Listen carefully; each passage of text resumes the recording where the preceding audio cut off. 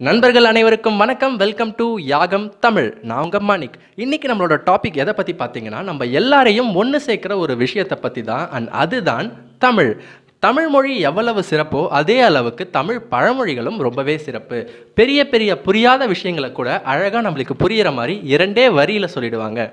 வரிகளை கூட விடுங்க. நம்ம உருவாக்கின சின்ன சின்ன வார்த்தையில் கூட நிறைய அர்த்தங்கள் புதைந்திருக்கு அப்படின்னு சொல்கிறாங்க உதாரணமாக வெஸ்டர்ன் கண்ட்ரிஸ் நிறைய நாங்கள் தான் சயின்ஸில் நிறைய டெவலப் ஆகிருக்கோம் அப்படின்னு சொல்கிற கண்ட்ரிஸ் கூட அந்த காலத்தில் சூரியனை சுற்றி பூமி சுற்றுதா இல்லை பூமி நடுவாக இருந்துக்கிட்டு சூரியன் ரிவால்வ் ஆகுதா? அப்படின்னு சொல்லிட்டே குழம்பிட்டு இருந்தாங்க. இன்னமும் நிறைய அதை பற்றி ரிசர்ச் நடந்துட்டுருக்கு பட் நம்ம தமிழ் மொழி அந்த காலத்திலே பூமி தான் சுற்றுது அப்படின்றத ஒரே வார்த்தையிலே சொல்லிட்டாங்க. என்ன வார்த்தைன்னு கேட்குறீங்களா அது பூமியோட பேர் உலகம் அப்படின்றது தான் உலா வருது அதனால தான் அதுக்கு உலகம் அப்படின்னு அழகாக சிம்பிளாக பேர் வச்சுட்டாங்க.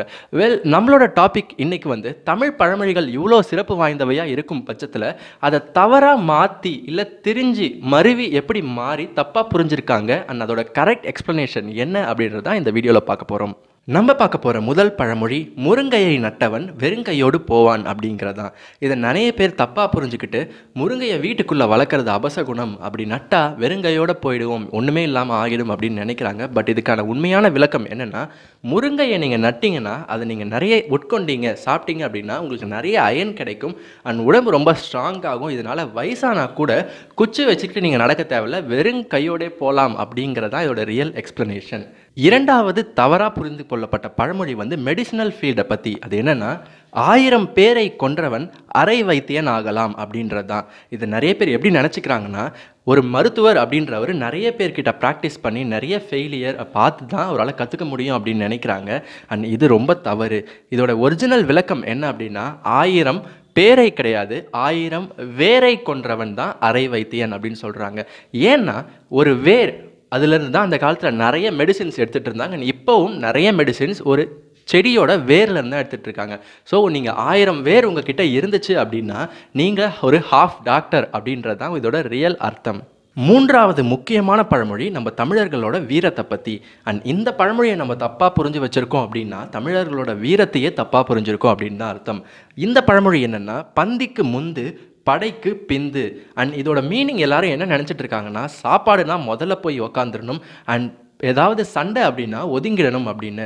ஸோ ஒதுங்கி நிற்கிறது அப்படின்றது தமிழர்களோட மரபுலே இல்லைன்னு நம்ம எல்லாருக்குமே தெரியும். ஸோ எப்படி இந்த பழமொழி இந்த மாதிரி மாறிச்சு? இதோட ஒரிஜினல் விளக்கம் என்ன அப்படின்னு பார்த்தீங்கன்னா இது ஒரு போருக்கு ஒரு போர் வீரர் போகும்போது ஒரு அறிவுரையாக சொல்லப்படுற வரிகள்.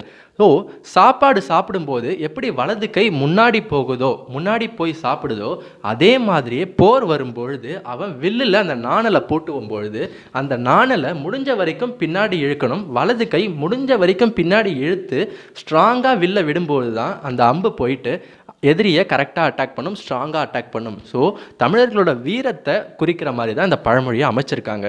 நான்காவது பழமொழி அரசனை நம்பி புருஷனை கைவிட்டது போல அப்படின்றது தான் இதற்கான விளக்கம் நிறைய பேர் சொல்கிறது ஒரு பெரிய விஷயத்துக்கு ஆசைப்பட்டுட்டு நம்ம கூடவே இருக்க விஷயத்தை மதிக்காமல் கழட்டி விடுறது அப்படின்றது தான் சொல்கிறாங்க வெல் மீனிங் இதுதான் சொல்லணும் அப்படின்னு நம்ம தமிழர்கள் முடிவு பண்ணியிருந்தாலும் இப்படி ஒரு பெண்களை இழிவுபடுத்தும் விதமாக சொல்லியிருப்பாங்க அப்படின்னு நீங்கள் நினைக்கிறீங்களா? கண்டிப்பாக கிடையாது. அப்போ அதற்கான முழுமையான அர்த்தம் என்னென்னா அரசனை நம்பி கிடையாது இது அரசினை நம்பி.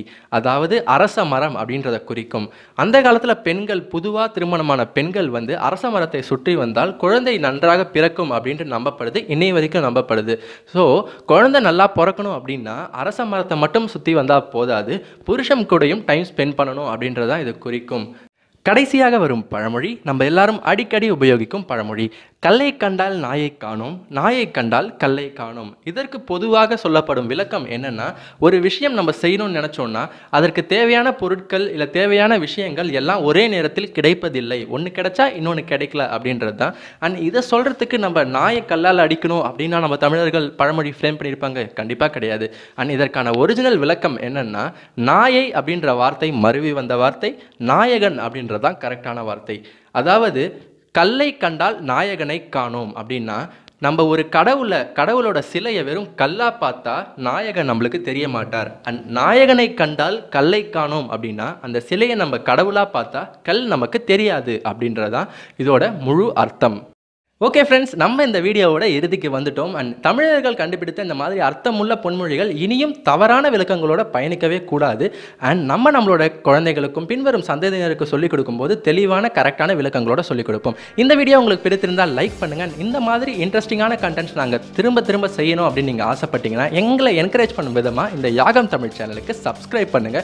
அண்ட் உங்களுக்கு ஏதாவது டாபிக் பற்றி நாங்கள் பேசணும் அப்படின்னு தோணுச்சுன்னா அந்த டாப்பிக்கை மறக்காமல் கமெண்ட் பாக்ஸில் லீவ் பண்ணுங்கள் அடுத்த வாட்டி நாங்கள் அதை எடுத்து பேசுகிறோம். அண்ட் இன்னொரு வீடியோவில் நான் உங்களை சந்திக்கிறேன். நான் உங்கள் மணிக். டாட்டா